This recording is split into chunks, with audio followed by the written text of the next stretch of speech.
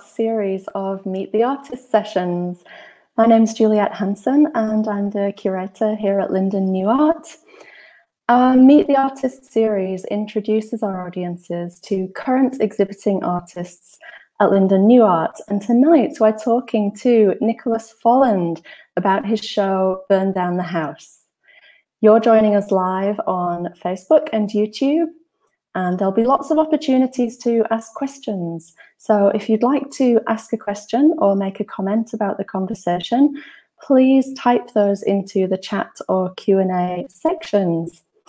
Our events and community engagement coordinator, Linda Studina, Linda Studina, will be monitoring the chat and she'll be adding those um, so that they can be addressed during the question time towards the end. Before we get started, uh, please let me begin with an acknowledgement of country. I'd like to acknowledge the traditional owners and custodians of the land on which we're all virtually meeting this evening.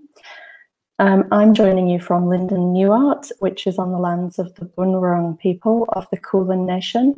And Nick is joining us from Adelaide on the lands of the Kaurna people. I pay my respects to the elders, past, present, and emerging. And while we meet virtually this evening, tonight draws upon the ancient history of this land and reflects the millennia of experiences of First Nations people coming together to celebrate, to learn, and to connect. I'd like to extend a very warm welcome to all First Nations people who are joining us this evening. Now it's my pleasure to introduce Nicholas Folland. Hi, Julia. Welcome, Nick. Hello there. Um, by way of an introduction, um, Nick is currently the department head for both contemporary studies and sculpture at the Adelaide Central School of Art. He recently exhibited work at the Art Gallery of New South Wales as part of the National 2019 New Australian Art and he presented a survey exhibition of his work at the Art Gallery of South Australia in 2014. Nick's work is represented in the collections of the National Gallery of Victoria, Art Gallery of South Australia, and the Museum of Contemporary Art in Sydney, as well as numerous Australian university and regional gallery collections and private collections across the world. Nick is represented by Tolarno Galleries here in Melbourne. Um, thank you so much for being here. We are thrilled to have your stunning exhibition Burn Down the House at Linden currently, and I'm looking forward to finding out more about that. Um, but we're going to get started by looking at some of your previous work because a lot of the ideas really do carry through to what you've created for Linden. So I'm going to bring that PowerPoint in now. Um, so if you wouldn't mind um, telling us where these exhibitions took place and uh, some of the ideas and materials and, and processes that you used in, in bringing them into life. Yeah, well, look, this is a really early work, and I just included this slide particularly for the work that's on the right-hand side of the screen there, the, the yellow works. Um, this exhibition is held at Greenaway Art Gallery here in Adelaide in about I'm thinking 2000, maybe 2002, something like that. Um, one of my very, very first commercial shows with Paul here in Adelaide. Um, but I think the work on the right has a particular resonance with some of the work that's in the show at Linden. And, you know, I, it certainly wasn't on my mind at the time that I was making the work for Linden, but these things tend to reoccur. So the same pink gum and blue gum branches that are in the Linden show this yellow work here was made from very, very similar pink gum and blue gum that came from the, the same part of Adelaide Hills here, um, except that this, the work on the right, the yellow work is kind of upholstered like furniture. So first it was wrapped in foam rubber and then it had a, a kind of sheath of vinyl stretched over it. So when I was making that work, I was thinking of furniture and the way and the materials that go into making furniture and how I might manipulate them. Um, I guess it's worth mentioning the work on the left there that is that was two armchairs that were cut kind of diagonally and, and stuck back to back, kind of trying to get some sense of a, a kind of mountainous landscape, I think, at the time. Um, so the yeah. furniture and the, the kind of branches, things from nature, and these materials around that have a kind of domestic origin have been there for a long, long time in my practice. Mm, and we can see some of these uh, more domestic items in the next few slides. Yeah, um, so the rest don't really run in any particular chronology. Um, and this work um, has only been shown once by Tolarno. Um, and really, in some ways, this was a was a work that was a, a personal kind of challenge in, in casting the crystal bowl as a, a lead bowl. So what we're looking at is a cast of the original Stuart crystal bowl in lead with a black patina, um, and then they're kind of sat, you know, face to face like that. Um, so there is this kind of playful element in my work that's about kind of exploring materials and, and the possibility of materials as well. So some of the things kind of, yeah, and, and this work is another work that kind of sits within that vein, I guess. The the shiny contraption down the bottom is a series of uh, mid-century candlesticks, um, and then it's woven copper wire that makes up the the form that's kind of attached to it. Yes, we have some more images of beautiful uh, crystal ware that you, you do often you've used in, in the past. Yeah, the mm. crystal has kind of been a recurring material that I've used. Um, and you know that really came about just through exploring materials and the potential for, for, these materials. And i have used a lot of crystals. So these were some of the early boats in bottles that i produced um, and these two bottles one of them has a replica or, or, an imagined replica of the boat that matthew flinders sailed around the, the country in mapping the country and the other one has a replica of the boat that Baudin um, was sailing around the country mapping it for the French in the opposite direction. And, and, of course, those two ships, while they were mapping the country, met here in South Australia down at what's now known as Encounter Bay, um, named after the encounter that they had near Kangaroo Island. Um, that's mm. always kind of been curious to me. So that's just a detail. That's kind yes. of the best view you could get of it, kind of peeping through the top. And I like that the, the, the faceted crystal kind of makes them mysterious, miraculous things. A lot of the boats that I've made in bottles are actually um, boats that have vanished um, at sea. Um, and so that ah. crystal element of them being, you know, barely visible or only visible in, in kind of sections or in fleeting glimpses, I think kind of plays with that idea a little bit. Mm. And the way that you've installed some of your other works, the, the drawn glass and crystal, it's quite quite amazing. And I, I, love the way the, the sort of this play of the shadow appears in this work too. Yeah, it's a bit dramatic with this one, isn't it? Yeah. Um, this is mostly I use I try to use found objects wherever I can, but this is some glass work, and it was the first time I'd had someone blow some glass for me, and, and I worked with the, the amazing artist Tom Moore here in Adelaide. Um, and he blew these forms for me. Um, and then I, I learnt to cold work them in the uh, cold shop here at the Jam Factory in Adelaide to cut them to look like crystal. Um, they don't function in the way that laboratory glass would function, of course, um, but I was trying to just get some connection between the, the, the laboratory glass and the, the, kind of mystery around the sciences that exists in my own perception of it, and that really kind of domestic crystal um, that, that I love so much. So trying to draw yeah. all those things together. Yeah, that's a detail. And using detail. the laboratory clamps and things to to reinforce that notion of the science. Mm. Where was this work? This was uh, shown, this particular image is from uh, Ryan Renshaw Gallery when they were operating in Brisbane. Um, I think they've recently opened a new gallery called the Renshaws, but I haven't been to Brisbane, of course, for a little while. Um, but I showed with Brisbane, with um, Ryan Renshaw Gallery for quite a number of years until they closed down. Um, and I made quite, quite, a number of these works, uh, and they are purely um, crystal, antique crystal vases um, that are screwed onto the wall. And then I made up that little light fitting that just shines mm. a, quite a bright light into the heart of the, the vase to get that refraction on the wall. So very, very simple gesture, but quite beautiful. Um, yes, absolutely. Quite, quite a nice thing to kind of explore too. It kind of gave me another sense of how these crystal forms operate and what their patterns actually do.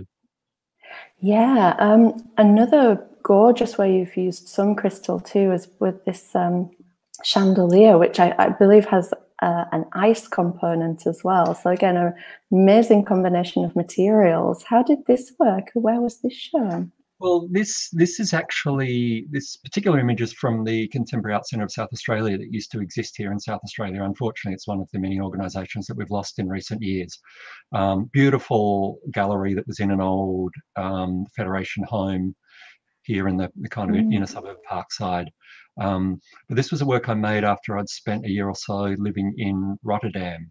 Um, studying at the Piet Zwart Institute. And, you know, I, I have to admit, I liked warm weather and Rotterdam was freezing.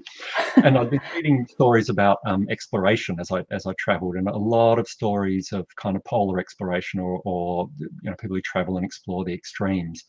Um, and I decided that when I got back from from this particular time overseas, that I wanted to begin to make some things with ice. I wanted to try to find some ways to make ice grow, um, and this was the first really the, one of the first explorations of, of making ice. And so on the ground there, it's just a very basic refrigeration unit um, that's piped up to the chandelier uh, and it grows ice around this chandelier. This work is currently hanging in the NGV.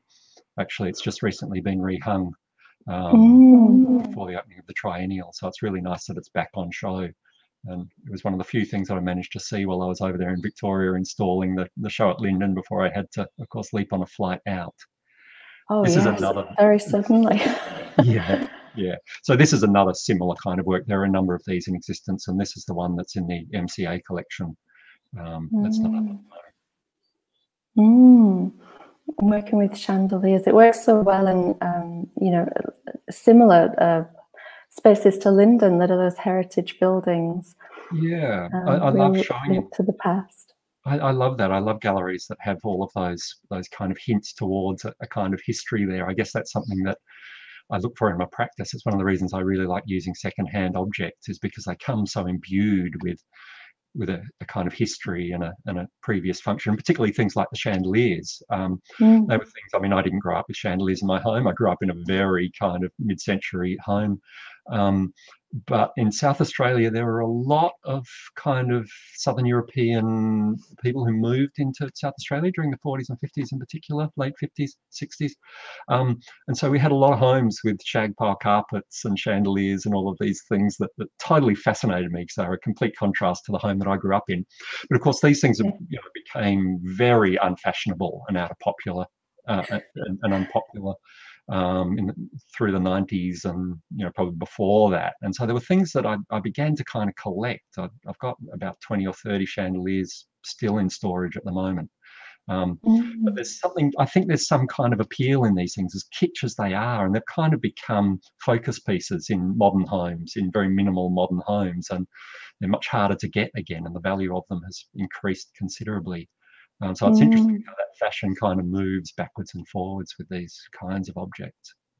Oh yes, I think the crystal we're... also has that nice connection to to nature as well. I think you know something like a chandelier that has those drops of crystal that are like water.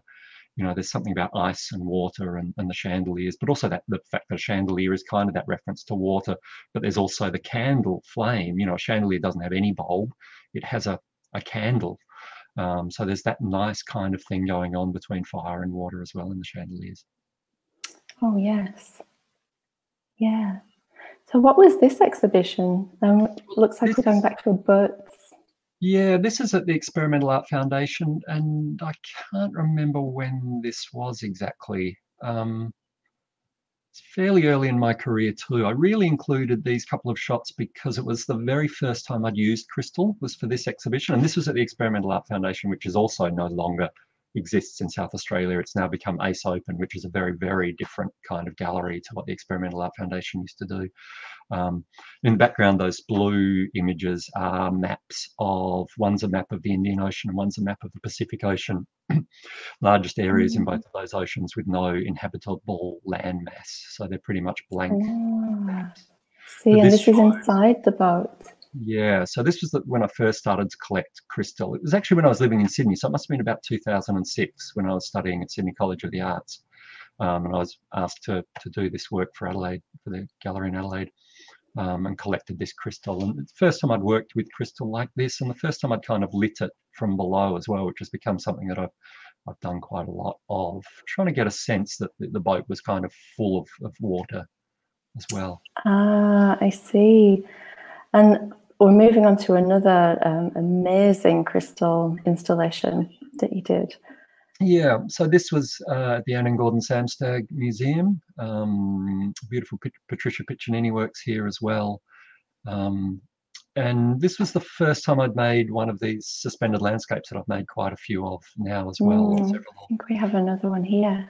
Yeah, and this was quite a, a wonderful, a great experience actually, because in my studio I'd, I'd, set up a small piece of grid so I could test whether I could suspend the crystal, and I'd worked out that I could do it, but there was no way I could install this entire thing in advance. So I kind of collected the crystal, mapped it out, um, and then went, in, went into the gallery and installed it and just was installed it. It took about two weeks. I can hang about 100 pieces of crystal a day on average. Oh um, but the other thing that happened was that when I first looked at this site, the floor in the gallery had a matte finish. Um, but mm. the week before I installed, they polished the floor because the cleaners had real trouble getting the matte finish to, to clean properly. And so after I'd installed it, I ended up with this most fantastic reflection um, that was really, really nice and really kind of worked with the, that floating sense of this island. Um, oh, it's just stunning, absolutely stunning. Um, I have more shots here in a completely different space. Yeah, so this was um, 2012 for the Adelaide Biennale, curated by uh, Alexie Glass.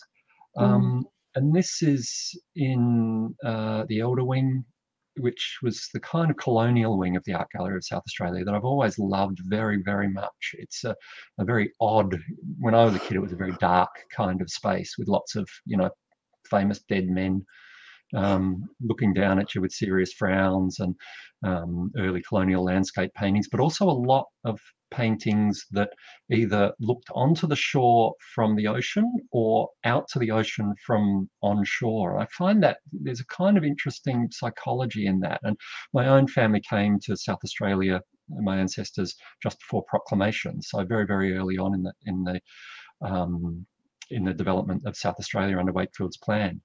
And they kept very, very good diaries. So they talk about you know, the, looking out for land when, when they realize they're beginning to get close to land, that, that constant search on the horizon for land and, and the excitement when they finally found land. But um, not in their diaries, but in other diaries I've read from uh, the early settlers in South Australia, they talk a lot about getting here and it not being the paradise they were promised. You know, under Wakefield's plan, Adelaide was meant to be this paradise where um, the people that were coming across from England would settle completely peacefully with the indigenous people, not invade their lands in any way whatsoever or disturb their culture.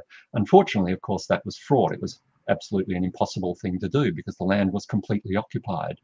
So there was a lot of, you know, conflict happened immediately. Although it was a really beautiful romantic plan, it was doomed to failure. So a lot of people got to, to South Australia and actually realized the colony was a disaster. Um, and, you know, this, this great vision of, of this paradise and developing this wonderful uh, community here just wasn't working. You know, the people were drunks and muddy and it was just a filthy place. So a lot of people just immediately write in their diaries about wanting to go home again, which was really essentially an impossible thing for a lot of people. So that thing of looking to shore from the ocean and the excitement of that, but then getting there, getting here, realizing you are stuck you know, I, I, can imagine those same people then sitting on the shore looking out to the sea and just, you know, dreaming of home. Um, yeah. So that this particular part of this gallery seemed like a place where something that was kind of slippery and miraculous needed to exist, and that, that's why I installed this work here. Oh, absolutely. Um, it's interesting because the idea of home does, I mean, it certainly carries through into the exhibition we have here at Linden. Um, but again, with, with this installation, it's kind of exploring the, um, the domestic and how comfortable or, or indeed anxious you might be within domestic spaces. Mm. Yeah. Um, yeah. There's always, nearly always, though, this this hook back to landscape, and it's a little bit less in the Linden show. Actually, um, it doesn't come across through in all my works, but this work here, for example, that was called Raft, and for me, it, it is a it's a it's a model of a raft, you know, or a bathroom that becomes a raft. The white wall becomes a sail, um, and it, it, gushes water. You know, every every tap the, the shower, the cistern, the toilet, the bath, everything is overflowing with water at, at, kind of high power. And then there's a very mournful piece of music by Grieg that plays over the, the background of this. Um, I don't know, were we able in the end to get the video of this working, do you know? Oh no, I, I think it's unfortunately not. Yeah. Um, um, sorry about that. No, no, that's fine. You can see in these details, you can see the way the water was rushing uh, through this. So the bathroom was built inside of a pond. I built a pond inside of the gallery first, and this was also at the Experimental Art Foundation, um, also shown at one stage at Canberra Contemporary Artworks. Um, so it's a very loud kind of exhibition, but the music, the piece of Grieg's music, which I'm going to forget exactly what it was called, really has these beautiful highs and lows. It's very mournful. So there are moments mm-hmm. where the, the music is quite overpowering, um, but then it drops right down and the rush of the water kind of comes into play. Um, but also playing on our, mm. our, anxieties a little bit. You know, I, I talk quite a lot uh, in the past about you know the things we bring into our homes. And here we've got a, a, timber toilet seat for example. But we have running water we have you know fire or heating we have all of these elements laminex fake kind of stone bench tops these kinds of things where we bring nature into our home. But we also suffer a certain amount of anxiety. I'm sure we've all left the home at some stage and had that sudden feeling that we might have left the tap running or we might have left the oven on or these kinds of things. So we have a certain amount of anxiety and the anxiety is essentially about kind of in a way, nature taking over again, nature defeating this control that we have. So, in a way, that's kind of embedded in this work as well. Yeah. Um, the next work we're going to have a look at is um, it's called Dancing with, with Darwin. And I believe we do have a video to accompany this one. Yeah. Shall we have a look at that? So um, video is just a little bit jumpy. So this this is a, a, a, lot of recent works over the last decade or so have been animated in one way or another. Um, and this was a work, uh, a lot of these larger installations, I, I see them as, as theatre without actors. Um, I actually trained initially, uh, my, my plan was to become a theatre designer. I've worked a lot in theatre over the years. Um, but I'm a bit of a control freak. And theatre, I found that I just had to constantly be making compromises for actors, for directors, for all of these different kinds of things that staging requires. Um, whereas in the visual arts, I could achieve lots of the same things um, without any of those kinds of burdens. This was also presented at the Samstag Museum a few years ago here in Adelaide. Um, so just trying to get the furniture to kind of take on a, a very, very subtle life. The chairs tilt back to a point where they're just about to tip over before they then slowly come back um, into position, but quite subtle, quite slow and quite subtle in the space. Okay, I'm going to return to your PowerPoint there, and we can see some more images of this work. Yeah, I guess the other thing, you know, um, that's worth mentioning about this work, like with a lot of my work, is that while it is furniture, there's been an active effort to kind of destroy its function. Um, mm. You know, there are no seat tops. It's been completely stripped back. It becomes, a, you know, in a way, it becomes that natural thing again. It's stripped right back to the timber, um, with the exception of one little strip of laminex on the back of one of the chairs. Um, but that function is is always kind of defeated in my work wherever I can. Yes, I think it. And a lot of furnishings. Yes, I think you've mentioned in the past that um, you know it's it's a good outcome if people go home and kind of reassess the the use or the function of the things that they're surrounded with in those spaces after yeah. seeing your work. I really like that aspect to it. Well, the, the um, first chandelier work that we looked at, the, the title of that is "I Think I Was Asleep," and a lot of my the titles around that time were, were titles about you know the, the potential for something to be happening in your absence or or something that you're not aware of. Mm. Um, you know, perhaps hinting towards that idea that your furniture might have some kind of life when you close the door. Yes. This is another amazing uh, interior. Um, and I think we do have a, a video of this work as well. Yeah, let's just look a little bit at that. Mm. So this was installed at the end of 2019 uh, at Adelaide Central School of Art here where I work. Um, and it's a full scale kitchen that was presented very theatrically. It's it's very much a, a kind of staged work. I built a, a, a kind of stage uh, within this space. All of the walls, the furniture, a lot of the cupboards and things like that all move very slowly within this space as well. You just saw the cupboard slam there. So some of the things slowly come open and then slam shut. All of these things are just slowly animated. Um, the surfaces were all printed with a like a potato print. Um, that took yes. a long, long time. Luckily, one of the advantages of working in an art school is lots of volunteers who are really keen to spend some time working on things with you. So I did um, um, take advantage of, of, the students, and it was great fun. Actually, we had all of these walls and the floors and everything laid out in the studios lots of uh, potatoes and pumpkins just printing away at this these patterns repeatedly. You can see the tap running also on the right hand side there as well. So there's this kind of mm. constant activity going on in these in this work. Yes, the patterning really adds such an intensity to the space, doesn't it? It does, yeah. And mm. the volume's quite quiet the way we're watching it now, but in the space it really felt like it was being ripped apart and and you know, a lot of people commented on how anxious the installation made them feel, particularly because the walls, you can't see it quite so much in these images, but the walls really did flex a lot backwards and forwards and, and in and out. Wow.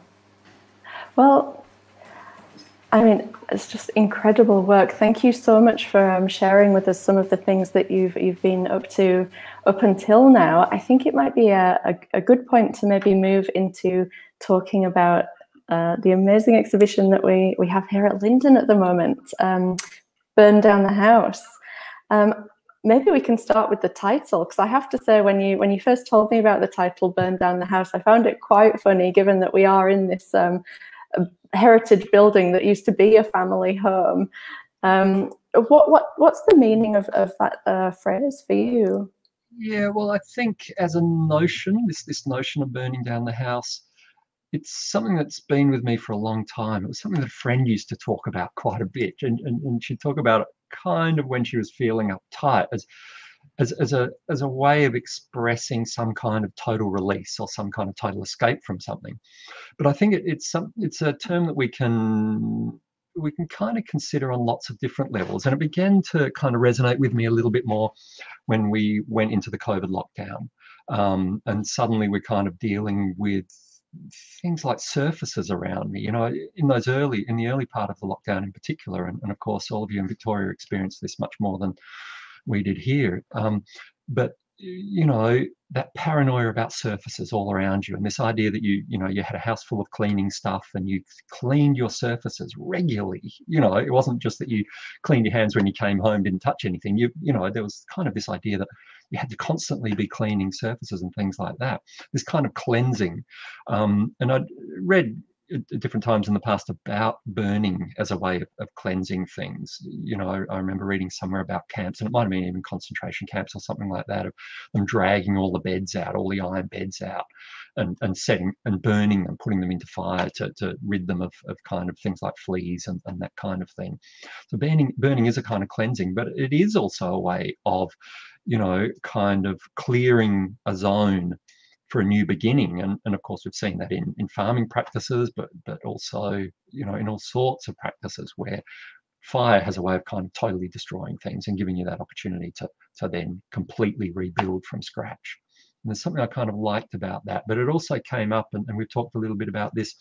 You know, Talking Heads have that song "Burning Down the House," and they talk about that you know, not as a physical kind of burning down the house, but as an opportunity for a radical change, um, you know, in time mm. and place and in attitude. I think you um, you sent me an amazing quote uh, from uh, from Talking Heads, David Byrne, saying that. Um, you know, burn down the house is um, a metaphor for destroying something that's entrapped you as an expression of liberation to break free of whatever was holding you back.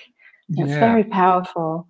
Yeah, and and you know even even on top of that, reading their interviews, they they also talk about going to early Parliament gigs which I wish I could have done myself. But um, that the audience apparently before Parliament um, would come on stage would scream "Burn down the house." It was kind of a chant that they would sing, um, and you know for sure it had political connotations within the black movement. Early, you know, we're talking kind of the seventies. Um, so I thought that mm. was really, really interesting too, as, as a notion that kind of has that history, particularly at a time when these issues are, are becoming very, very prominent again in the last year. So I guess that's, you know, with the Black Lives Matter and, and all of those things around around those notions too that we, we really trying to deal with at the moment, seem to just have a resonance. I don't know that my work lives up to the power of these kinds of notions, but it just seemed like like something that that kind of created a window, I guess.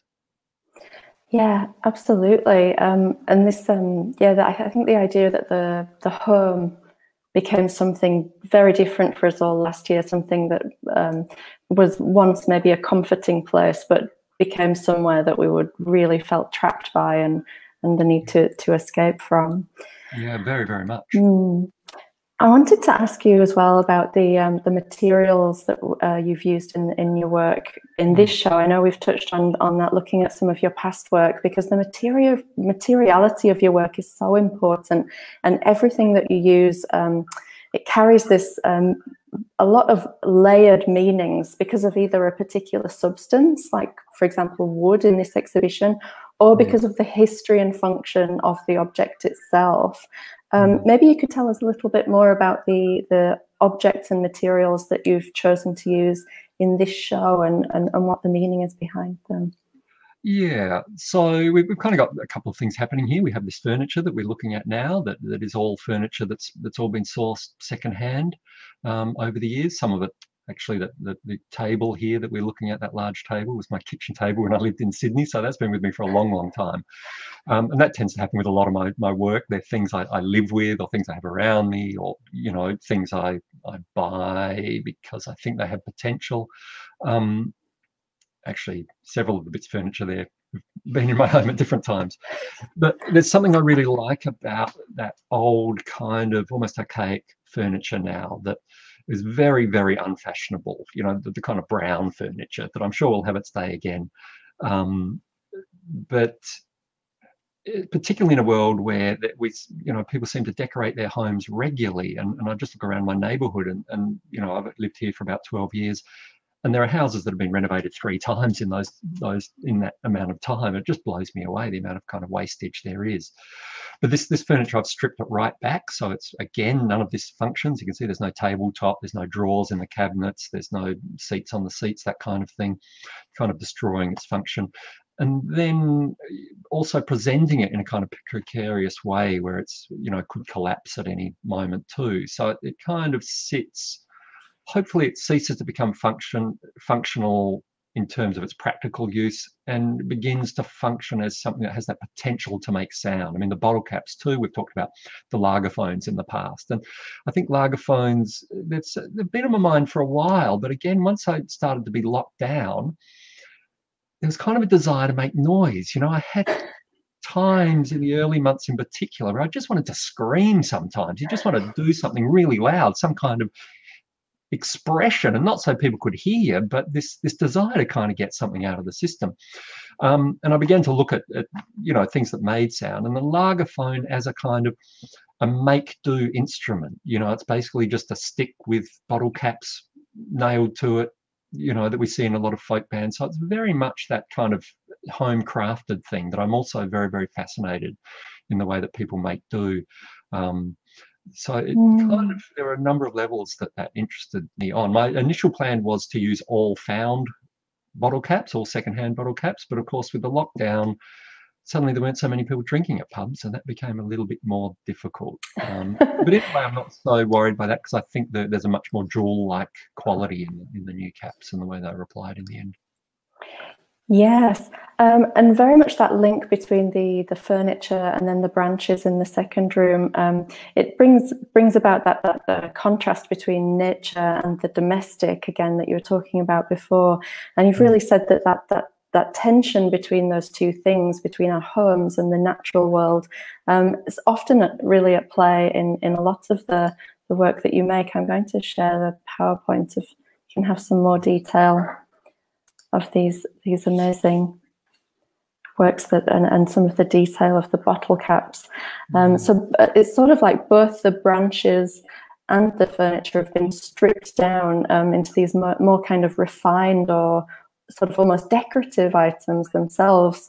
Um, so that they're, they're, at once linked, but in contrast with each other at the same time. Yeah, well, they, this work in particular, you know, removing all of the, the kind of branchy parts of it, so it just became a very linear curved linear kind of thing still branch like but but possibly you know I, I, don't know how other people respond to it but, but but i guess i hope a little bit that you might have to think for a second to be sure that it's a branch.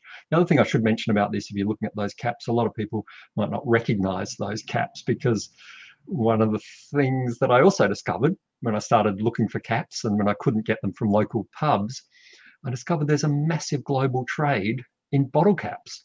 Um, and it was actually cheaper for me to import 10 kilos of bottle caps from the United wow. States than to buy brand new bottle caps here in Australia. It My just goodness. totally blew me away. And um, unfortunately, I couldn't find anywhere in Australia where I could buy enough bottle caps. So I ended up importing a lot from the US just to try and get the ones that I wanted. Um, yes. Also, I also imported some from Europe as well, just to try and mix it up a little bit. Um, and there are Australian caps there as well, but majority of them are Bud Budweiser caps. Something I've never drunk, and I'm not a big drinker either, um, to be honest. Um, I wonder if we can talk about this work. It's the it's the largest and perhaps most complex installation piece in the show. It's called House Party. Am I right in thinking that there are about seven thousand bottle caps in this work?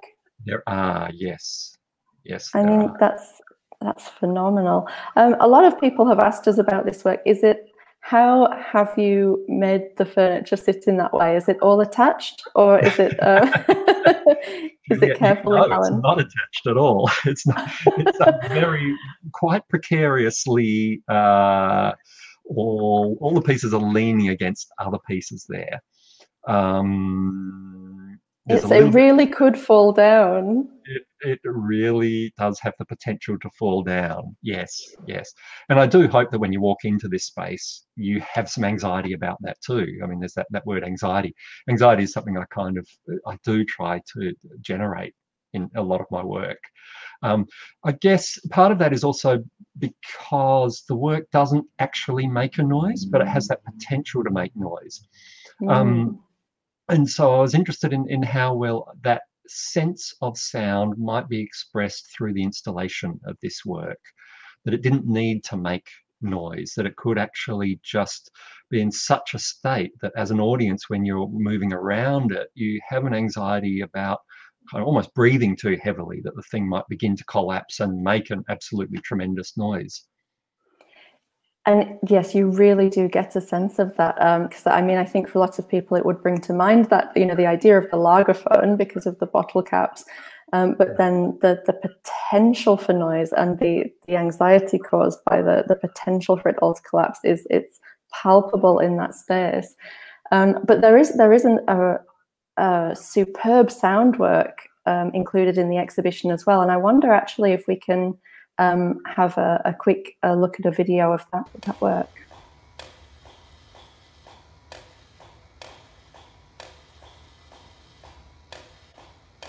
Oh, it's tapping out a nice little beat there. It doesn't always hit such nice rhythm. So this is, is a work called hmm. um, just called uh, SO, and uh, there are two little contraptions like this. There is one that just taps out these three little taps for each rotation, and the second little motor taps out uh, two sets of three quicker taps. The there's kind of a few things happening here. It, also, like all of these works made through COVID time, there is this kind of slight little COVID thing that's a little bit like the screaming that I mentioned before, that desire to scream. This is more a kind of tapping on the wall, you know, trying to kind of um, you know, like trying to get some response from the from the other side, in a way. Um, and I do remember as a kid, once waking up early in the morning, and, and I grew up with three brothers. We all had rooms, and some of the rooms backed onto one another.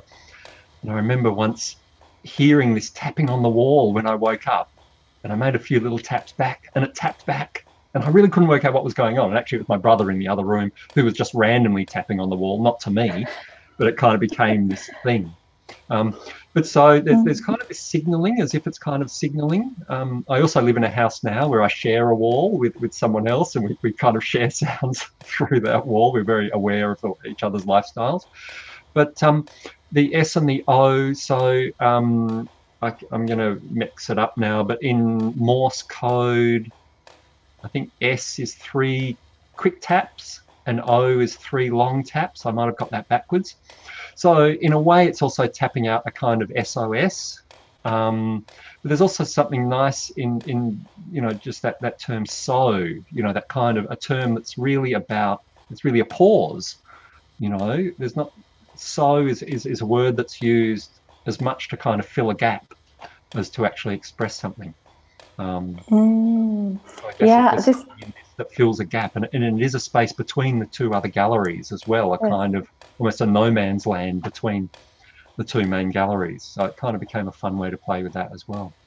Yes, and it starts automatically as you move into that space. That's this the, the, tapping starts.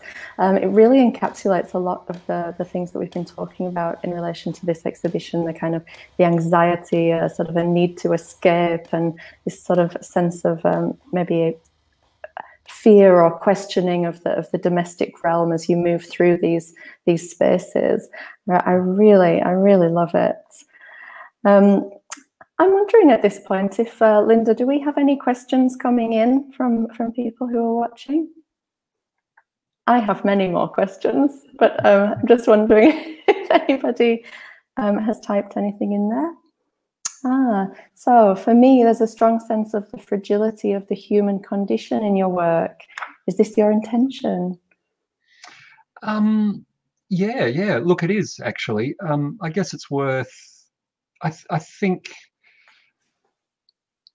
I'm, I'm certainly trying to provide something that, that can give you a way of recalling that that kind of fragility. And a lot of the work, you know, I mentioned before that my, my family came out here um, before proclamation in, in, in, the very, very early days of settlement here in South Australia. And one of the things that motivated them to come to South Australia that, was that one of their family, a cousin, was with the British Navy and he'd been stationed in uh, New South Wales and he'd gone missing at sea.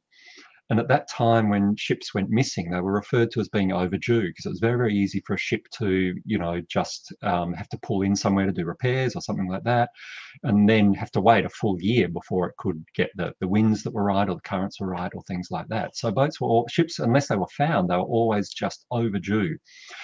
And my ancestors thought that they were going to be able to come out here and possibly find this, this Charles French Robbins who'd gone missing. Um, he'd actually gone missing somewhere in the Pacific. He was on his way to South America um, with the British Navy, and um, you know he was never going to be found. But a lot of my works kind of reson uh, kind of work a little bit off of those kinds of narratives, which is why I'm interested in these narratives of exploration and, and the narratives of, of narratives of exploration that I'm most interested in are the ones that are disastrous. You know, I, I, always find they're the most interesting. So Scott's journey to the South Pole is is absolutely one of my favorite favorite narratives. You know, there's so much excitement and, and trauma. You know, we all know the, the lines about, you know, um, I'm just stepping out, I might be some time. You know, it's, it's a classic line of, of someone basically giving their life to save the others. But of course, they never they never actually lived in the end either. They got, I think, within about 50 miles of where the next food supplies were, and a blizzard came in, and they knew they weren't going to be able to escape that blizzard. But in addition to them knowing that they weren't going to be able to escape the blizzard, they apparently traveled with poison that they could take so that they could take their own lives quite peacefully. But they decided that actually um, they were going to allow the, the blizzard to kill them basically, which is incredibly kind of beautiful and romantic. The idea that you battle the elements for months and months and months on end, and then in the end, you know, realize that they're going to win. So kind of giving over to that um, I think is really, really interesting. And I think these things say a lot about the human condition. And I think the reason that a lot of these stories, even Burke and Wills, you know, another tragic story of exploration, I think the reason they're such appealing stories is because they do talk about our desire to achieve things, but, you know, our potential failure within that. Um, there's all sorts of interesting stuff there. So yeah, you know, I do think about human fragility a lot And a lot of my works actually refer much more closely to to failure and to, and to death possibly than than they do to success in that way. Mm, that's one thing I, I, I was kind of wondering, Nick, about about the exhibition that um, you know, we've mentioned anxiety, and I think um, you know, contemporary society does give us so much to worry about. In fact, and your exhibition, um, in some ways, with the title of it, it's um, it's a call to action, maybe to get rid of outdated thinking or systems that might be holding us back. So I was wondering, in fact, if you're if you see your practice as being fundamentally optimistic, or are you often trying to provide a kind of a warning that um, things might all fall down, as it were? Yeah, that's a really good question. I, I think it sits maybe somewhere in the middle there because you know I, I I'm conscious that a lot of the time I make things that are beautiful things, you know, which which has kind of been unfashionable in a way. I think it's it's becoming fashionable again, um, but I think certainly in the time that I've been practicing in the last 20 years, beauty hasn't been a thing that, that people focused on a lot. But I use it in a partly I use it as a, as a strategy because I know that we're attracted to beauty. There's no escaping that, and I in, so I kind of use it as a way of getting an audience to spend a moment with my work, you know, to actually hold them there for a little while, and particularly using objects that that people might know from their own history. So with the crystal works, for example, you know, it's really lovely when I see people around those works with their, you know, with their family and kind of pointing to particular bits of crystal that they might recognize that their grandparents had or that they have at home, and, and those kinds of connections that that exist there in, in our own histories. Um, so I don't know that's necessarily optimistic though. I think I think I try to generate something that will be seductive. Um, mm. but maybe if you spend a little bit of time with it, it might reveal something that's a little bit more disturbing or something that exists under the surface or has the potential to fracture that kind of desire. I'm not sure why that is though, Juliette. Yes. No, but it certainly does. It's all of those things all at once. Um, Linda, I'm, I'm, I'm looking at the time as well. Do we, do we have any more questions coming in? Not at the moment. I'm wondering, Nick, if you um, could maybe tell us what, what you've got coming up next. What are you working on at the moment? Yeah, I've got a few things coming up in the next few months. Um, the next exhibition will be uh, at Riddoch Gallery in Mount Gambier. Um, and that's a representation of the kitchen scene that we were looking at before. Um, I'll be installing that in one of their galleries down there, um, although it's quite a different gallery, so I'm having to adapt that work quite a bit to make it fit in that gallery. Um, so that's coming up in late May, I think. Um, I'll then be a little bit later in the year going across to Perth for the inaugural Oceanic Craft Biennale, um, which I'm quite excited about. Um, the very different kind of uh, event for me to be involved with, but uh, I think that'll be quite an interesting one. Um, and I'm not really sure exactly what I'll be doing for that one yet.